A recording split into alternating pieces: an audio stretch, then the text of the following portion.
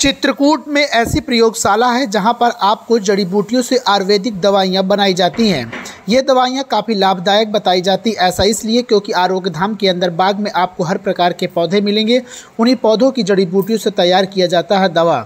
बदलते जीवन शैली में इंसान जल्दी राहत के लिए अलग अलग और सहज पद्धतियाँ अपना रहे हैं। लेकिन असाध्य बीमारी को जड़ से मिटाने के लिए आयुर्वेद चिकित्सा पद्धति रामबाण बताया गया है। इससे कई बीमारियों को रोका जा सकता है तो कुछ बीमारियों को हावी होने से बचाया जा सकता है।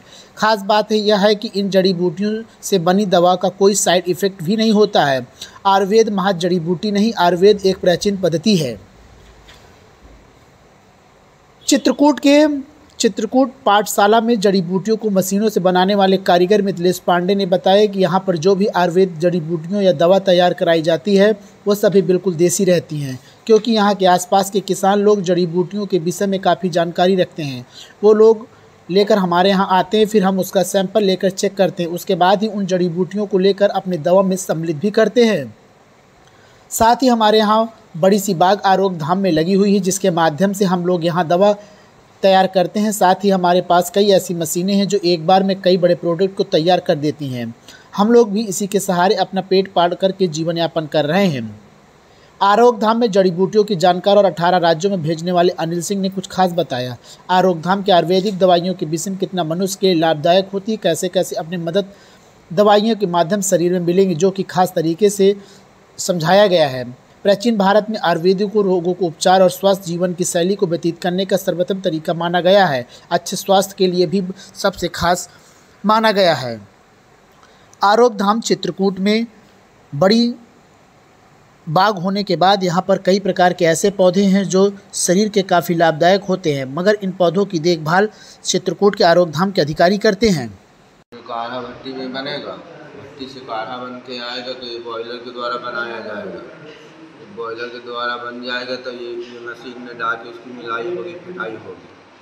फिर इसके इस मशीन के द्वारा पैक होगा पाँच सौ एम एल सौ एम एल।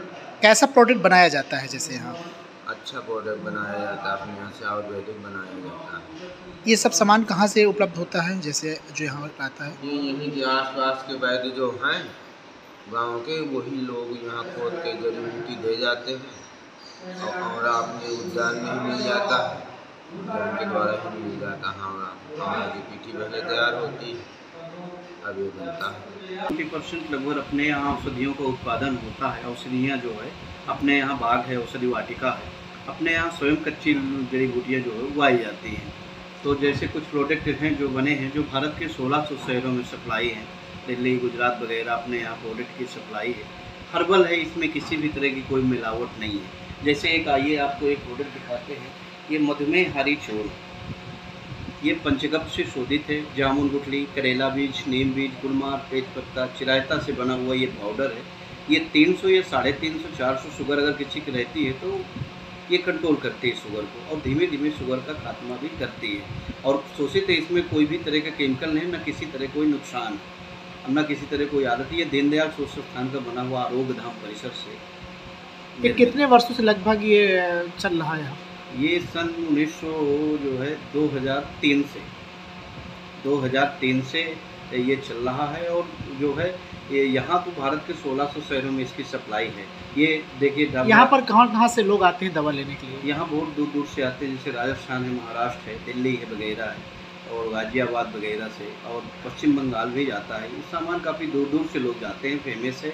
और लोग इसके मानते हैं कि हर्बल है इसमें किसी भी तरह की कोई मिलावट नहीं है। इसकी कोई बाज़ार धाम में जो बाग तैयार है इस बाग का क्या खासियत रहती है कि लोग कहते हैं क्या है इसका? बाग की खासियत उसमें ये है कि आयुर्वेदिक के पौधे लगे हुए हैं जैसे गुड़मार है तेज पत्ता है ये सब उसके पूरे आयुर्वेद पौधे लगे हुए उसमें गुणधर्म लिखा है कि किस तरह से पौधा जो है ये पौधा किस रूप में काम करता है। लोगों के लिए कैसे क्या कहें कितना लाभदायक होती है आरोग्य धाम की दवा लाभदायक है, इसमें 95 परसेंट लोगों को फ़ायदा मिलता है, लेकिन थोड़ा सा परहेज अगर करते रहें तो बिल्कुल 100 परसेंट उससे फ़ायदा मिलेगा। और किसी बीमारी का जड़ से खात्मा हो सकता है। जैसे और भी अपने प्रोडक्ट हैं।